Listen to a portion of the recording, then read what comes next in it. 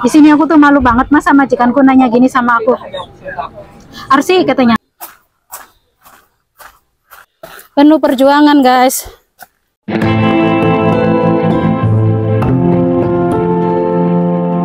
Halo teman-teman, Assalamualaikum. Jumpa lagi dengan Narsi Channel. Gimana nih kabarnya teman-teman semua?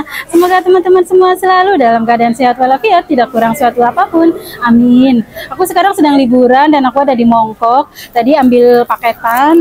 Terus uh, sambil nunggu Neng nanti aku juga mau makan. Aku udah beli nasi uh, Ini aku ada di Mongkok ya teman-teman. Dan nanti aku setelah makan akan ke Repulse by sama Neng. Kalau cuacanya nggak hujan ya teman-teman. Karena hari ini tuh hujan padahal perkiraan cuaca tuh cerah. Ya kita lihat nanti aja ya. Pokoknya teman-teman ikuti terus liburan aku kali ini. Nah aku habis ambil paketan. Ini tuh 1,8 kilo. Mari kita lihat isinya apa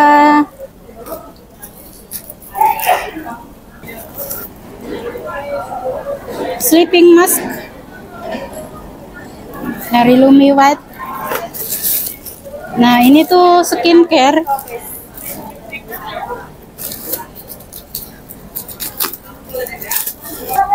Nah, ini Lumi White. Aku belinya di TikToknya Ruben Onsu. Jadi satu paket ini 100 eh, dua paket ini eh, 100 ribu. Nah, ini Lumi White Cushion. Nah ini semua isi paketanku teman-teman videonya aku singkat-singkat aja supaya teman-teman gak pada bosen Maaf ya teman-teman, videonya loncat-loncat nih. Aku tadi sudah ketemu Eneng, kita sudah makan bareng, kemudian langsung OTW, dan sekarang kami sedang ada di Tungcung. Kami akan lanjutkan perjalanan menuju Taio. Jadi rencana liburan awal ke Repulse Bay itu batal ya teman-teman, jadinya ke Taio, kampung pedalaman Hong Kong. Di sana terkenal juga dengan kampung nelayan. Pokoknya teman-teman simak terus video ini sampai selesai ya liburan kali ini akan jadi liburan yang sangat menyenangkan. Dari exit B kita cari stasiun bus, kemudian dari situ kita akan naik bus nomor 11. Tarifnya itu 22,8 dolar, lama perjalanan itu satu jam.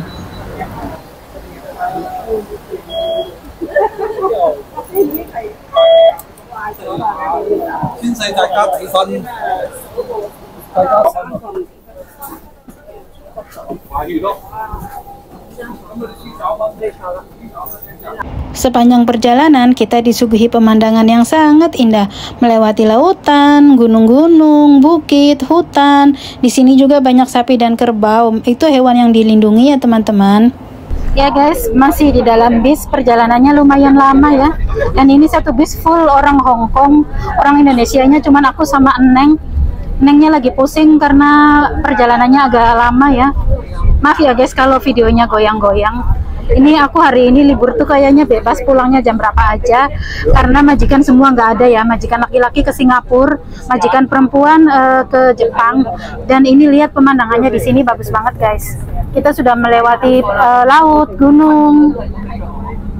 Bagus banget pemandangan Taio walaupun uh, ongkosnya lumayan mahal tapi terbayar ya dengan pemandangan yang begitu indah, begitu sejuk, begitu segar gitu, bikin nyaman, bikin betah banget guys. Kemarin itu majikanku bangun tidur tuh kan sarapan sambil nonton video, nonton TV.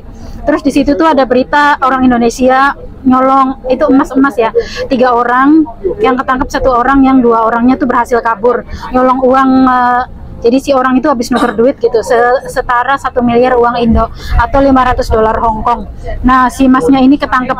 Dia itu bisa bahasa iya 500 ribu. Dia itu bisa bahasa kantonis jadi kayaknya dia itu bukan uh, turis tapi kayaknya itu orang OS atau paperan gitu ya. Di sini aku tuh malu banget mas sama majikanku nanya gini sama aku Arsi katanya uh, ada berita orang Indonesia nyolong uang katanya 500 ribu katanya gitu. Terus kamu suka nyolong nggak? katanya gitu. Aku tuh sebenarnya ngerti majikanku ngomong apa ya. Leo mau tau jin gitu. terus aku tuh kayak nggak percaya masa majikan nanya kamu suka nyolong nggak gitu. Terus aku nanya sama temen aku. Soalnya majikanku tangannya tuh memperagakannya kayak orang main judi tuh ya. Aku berharapnya kamu suka judi nggak? gitu. Kan masih ada pantas-pantasnya ya. Masa nanya kok kamu suka nyolong nggak? gitu. Terus aku nanya sama temen aku kan yang udah puluhan tahun di Hong Kong gitu. Aku bilang saya kalau tahu jin itu artinya judi ya? Artinya mencuri lah saya hah? Masa majikanku nanya kamu suka mencuri enggak kan satu orang yang berbuat semuanya kena ya guys. Jadi tolonglah jangan tergiur kalau ngelihat uang di depan mata kita. Tuh ujung-ujungnya belum sempat kita menikmati hasil curian kita kita udah ketangkep. Merugikan diri sendiri merugikan keluarga kan. Jadi sebelum berbuat tuh uh, dipikir dulu baik buruknya ya guys. Aku tuh malu banget ditanya gitu sama majikan. Ini kita masih perjalanan ya guys. Kanan kirinya laut uh, aku bersama orang-orang Hongkong bagus banget. Nanti kita sambung videonya di sana ya. Ikuti terus. Bagi teman-teman yang mabok kendaraan, sebaiknya kalau mau ke sini membawa obat anti mabok ya teman-teman.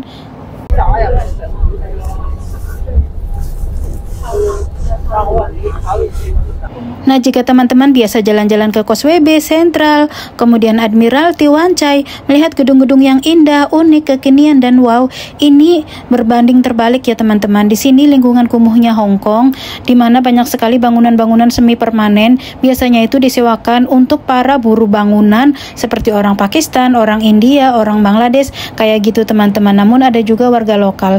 Ini ada bapak-bapak yang baru turun dari bis, makanya bisnya berhenti sebentar teman-teman. Lihatlah lingkungannya teman-teman. Sungainya keruh sekali, sangat hitam. Dan ini mobil sudah mulai berjalan lagi nih teman-teman.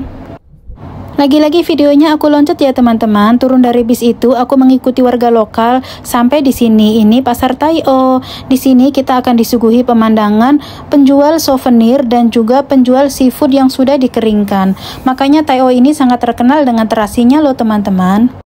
Jika teman-teman minat untuk membeli ini semua, teman-teman harus menyiapkan uang yang agak banyak ya teman-teman karena harganya itu tidak bisa dibilang murah, sangat mahal bagi aku ya teman-teman dan aku sendiri tidak minat untuk beli karena aku juga tidak tahu khasiatnya apa gitu ya. Biasanya sih di orang sini itu untuk masak sop ya teman-teman.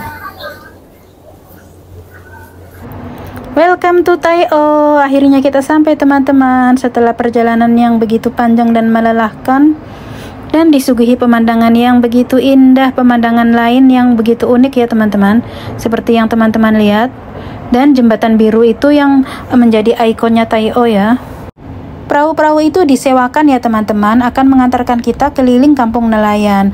Nah, tiketnya itu satunya itu 50 dolar, lama perjalanannya kurang lebih 20 menit ya teman-teman. Kita sudah sampai di Taio guys perkiraan cuaca cerah ternyata sampai sini lumayan sejuk ya guys. Tadinya aku tuh nggak rencana ke sini rencananya tuh mau ke Repulse Bay ke pantai gitu sama Yuni. Iya tuh si anak yang paling aneh. Tadi pagi bangun kemarin pagi bangun tidur ngirimin video pemersatu umat tahu nggak guys? Video dua orang lesbong lagi di hotel muncrat bareng. Aduh pagi-pagi bangun tidur dikirimin video kayak sebenarnya dia ngirimnya tuh malam cuman aku mukanya tuh pagi. Dan dia tuh sering banget Yuni itu. Kalau ada video apa apa yang lagi viral tuh aku nggak minta aku nggak nanya langsung dikirimin. Jadi orang mah pada nanya kepo-kepo minta dong videonya minta dong videonya. Aku tuh tinggal nunggu updatean dari Yuni aja nggak usah minta. Kalau ada video begituan dia tuh gercep banget. Ada aja dapet aja videonya tuh nggak tahu dari mana. Mungkin sih mbaknya itu bukan bukan sengaja di share ya videonya itu. Cuman kesebar nggak sengaja entah HP-nya hilang atau mungkin uh, dipinjam orang gitu ya intinya videonya tuh tersebar ya buat pelajaran ya teman-teman katanya dosa yang tidak bisa diampuni itu dosa yang dipamerkan atau dosa yang dibanggakan. Jadi ya kita berbuat dosa boleh-boleh aja semua orang punya dosa jangan dipamerkan, nggak usah didokumentasikan juga karena kan segala kejadian kan bisa terjadi. Ini kayak ibu. Ini Taio Market ya guys. Kita mau hiking dulu ya guys. Jadi dari pelabuhan tadi untuk sampai ke puncak itu kurang lebih setengah jam, tapi mendakinya itu kurang lebih 15 menitan ya termasuk rute pendek dan pemandangannya itu wow banget loh. Ini kita mau naik gunung dulu ya guys. Uh, nanti pulangnya kita mau naik perahu.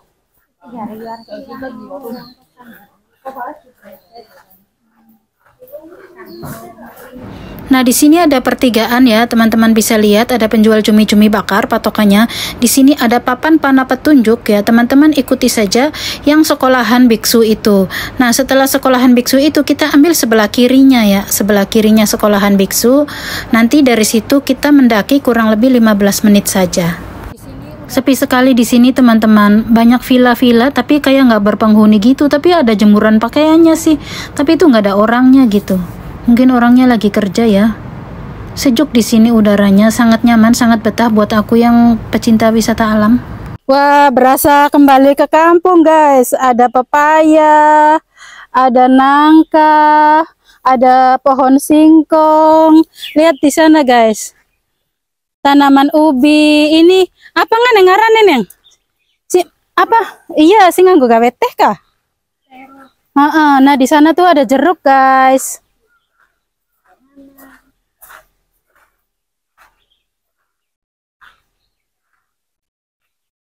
Masya Allah. Ini bos bos itu bos jeruk sedang nengokin kebunnya. Bukan bos jeruk, maksudnya pekerja kebunnya. Hiking tipis-tipis guys. Masya Allah. Neng pengen foto beli neng.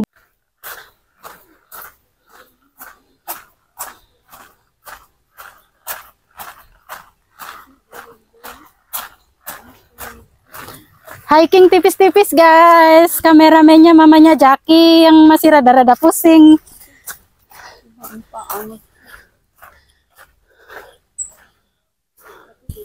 Ke mana nih? Bu lurus apa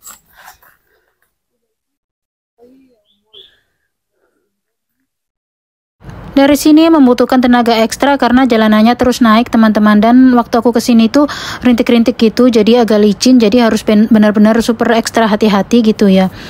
Makanya teman-teman kalau ke sini tuh nggak usah bawa bekal banyak-banyak ya teman-teman berat gitu cukup bawa air aja yang cukup. Kawasan ini itu tempat pemakaman umum ya teman-teman, banyak sekali kuburan. Namun teman-teman tidak usah takut, aku juga di sini nggak merinding ataupun gimana-gimana ya. Neng sempet nanya katanya gimana bawa semen, bawa apanya katanya banyak kuburan di sini. ya aku nggak tahu ya. Dan jalanannya juga sudah enak teman-teman tuh. Nggak kayak di Indonesia kan pasir, licin atau kadang-kadang lumpur gitu ya. Kalau di sini tuh enggak teman-teman. Jadi walaupun hujan masih oke okay buat jalan tuh gitu. Aku juga nggak tahu ya gimana pembangunannya, gimana ngangkut semen pasirnya. Padahal ini di atas gunung loh teman-teman. Nggak ada akses untuk mobil ya. Aku nggak tahu ya, nggak ngerti gimana gitu.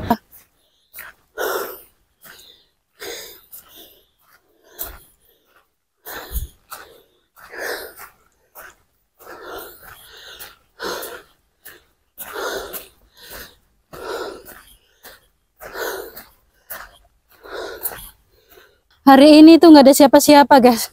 Aku sampai sini jam 12 siang ya teman-teman. Mungkin karena cuacanya nggak bagus jadi nggak banyak orang. Baru ada aku sama Eneng saja dan beberapa orang Hongkong yang udah naik duluan.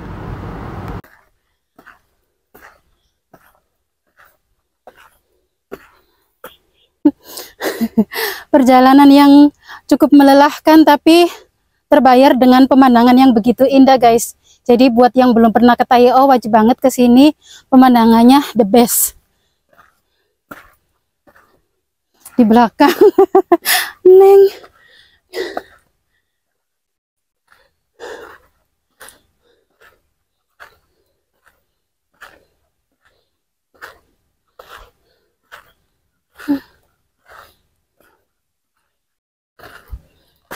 Dan kita sudah sampai di dolphin putih, guys.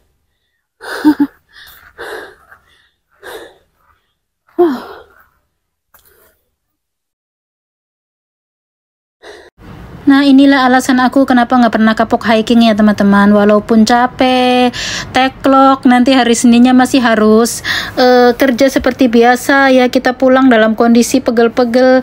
Tapi kalau udah sampai di puncak lihat semua beban tuh hilang Semua beban terlupakan.